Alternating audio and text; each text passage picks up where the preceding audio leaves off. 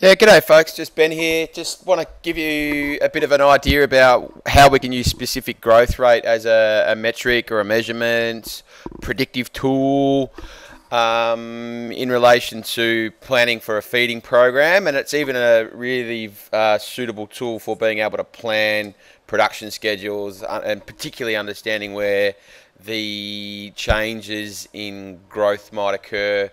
And I guess realistically, overall, the whole aim of uh, growing fish is to harvest them. So we can actually use the specific growth rate as a predictive tool to understand where a batch of fish or an individual fish might reach a certain point before we send it to market.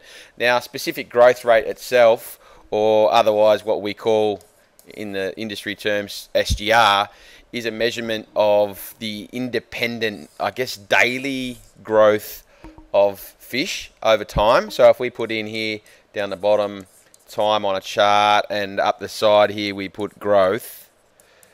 Um, what we see with fish over time is the older they get, the slower their growth curve starts to become, almost to a point where it may even flatten off. Some species of fish will flatten off and then they may go through another bit of a uh, increased growth rate after that period of flattening. Um, so really what we're really probably trying to achieve is a point where hopefully this mark here where the curve starts to flatten out is our harvest. It's not always going to be that case. Sometimes the market will drive a fish that needs to be a little bit bigger uh, and we need to try and account for that at some point in time, I guess. So we might say that a harvest size on a fish might be three kilos, just as an example. No particular species, but let's just say at that point there, we're achieving uh, a harvest size of three kilo. Now, in the phase to that point, the growth phase, every day this fish grows, or these fish grow, their growth rate slows down. So it's really hard for us to compare daily, monthly, weekly, whatever it might be, because the growth rates aren't the same. So any given day of growth is going to slow the fish's growth down. So day one, the fish might be growing at, say, 10% a day. Day two, it might be growing at 9.996% per day, so on and so forth, to the point where we achieve at harvest size where the fish might have slowed their growth right down. Now, the important part behind that, I guess, is that as the fish grow, the diet is going to change. I, sometimes I use that little symbol there as uh, when I indicate that something might change. Uh, and normally their growth is going to slow. So if somebody asks you what effect does age or time have on their growth, uh, growth is going to decrease or their growth rate is going to decrease or they're going to slow down their growth. Um, and the type of diet will change as well. So we've got a, a change in the diet in terms of uh, the, let's just say the ratio of protein to energy is going to change, but the type of diet might change as well. So we might have early in the phase, we might have a live diet.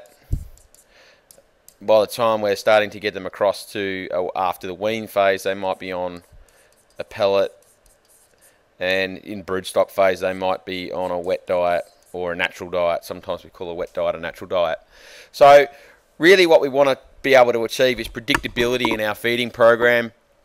Uh, in the fact that at X any X amount of time within that growth phase, we can predict what the fish want to eat. Now, really, the main aims for it are to predict and monitor.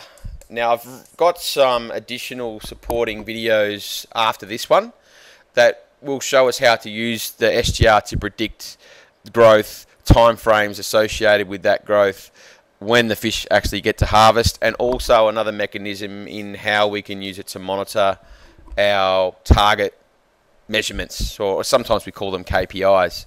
Now realistically the predictions are going to be going off to the likes of feed companies. Alright, so we need to be able to predict growth so that we can predict how much food we're going to need. And the market is also going to want to know how much we're going to be able to produce and how fast. So they're the key items behind why we want to predict. Uh, and then the monitoring stage will help us to manage health, for instance. So if we see that there's a change in growth, is it something related to health? Uh, and it will also help us to manage performance or efficiency or things like that within our feeding program. So, where to from here? I guess the, the thing is that we need to know what the SGR formula is. Uh, and it's a bit of a complex looking thing for those who aren't mathematically inclined. But when we break it down into its subsequent components, which I'll, I'll just put green a green box around that one. I'll put a purplish box around that one. I'll put a light blue box around that one. And then we should be able to see where we're going to from there. Now, anybody who isn't familiar with um, mathematical terminology, this little ln, lowercase l, lowercase n, is the natural log. All right, and the reason we use that natural log is it enables us to compare those different stages of growth uh, together. If if I tried to compare day one with day two, I mean, I can, but mathematically speaking, it's not really a good way to do it because we know that by the time we've hit day two, the growth rate is already slowed. So this natural log enables us to transform the data, uh, and mathematically speaking, when we bring them all back to their natural number, so uh, the natural log, we can compare day one with day 200 if we really want to. So it enables us to predict uh, mathematically and compare. So that's really what that is. And like I say, that natural log the symbol is LN. So when it's on a calculator or it's in a Microsoft Excel spreadsheet or whatever it might be, the function is LN. Um, weight final, or WF, up here we've got this WF, and I'll just draw a little arrow through here. That WF is weight final. So uh, the last day that we've done a weight check. So final weight, expressed in many ways. It could be kilos, it could be grams, whatever it might be. Uh, over here we've got weight, and that one says initial. Alright, so what did our fish start at at the start in terms of grams, kilograms? Sometimes it might even be tons if people wanted to go down that track. Uh, and we're going to use that number as well. This bit here gets applied to it so that we can convert our answer into a percentage of the weight of the fish. So if I've got 100 grams of fish and I calculate out my specific growth rate, my answer will come out in a percentage. So that's what that multiplied by 100 is. And then over here, we've got uh, time or a day or a date. Oh, no, not a date, it has to be a specific number. So time at the end of the growth period and time at the start. Alright, so time at the end is TF, time at the start is TI. So final and initial. That makes sense? So what we would do is use this formula the way that it is by putting in or substituting the the symbols or the, the, the functions, I guess we would call them, with actual numbers. So if we said uh, the, the final weight that we calculated on this fish was 100, the initial weight we calculated was 10 grams, and then the time to get from 100 to from sorry from 10 to 100 might have been uh, 175 days. So in that formula, we would plug in the functions that we have there, uh, and then from that stage, we would be able to predict what our percentage uh, of weight, I'm going to put percentage grams per day, we would get out of our fish. All right, so moving on. I'm going to give you an example and then I'm going to get you to calculate your own for me at the end as a little bit of a practical exercise, I guess. So at the moment, we've got uh, weight initial, weight final. We've got what we might say TF, so time final and time initial. All right.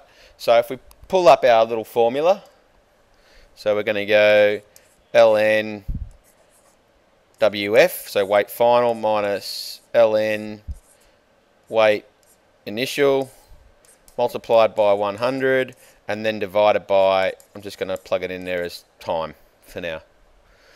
Alright, so on a calculator, if I can bring up a calculator here, I hope so. Alright, we can just scroll that up to there so we've got a bit of room to move.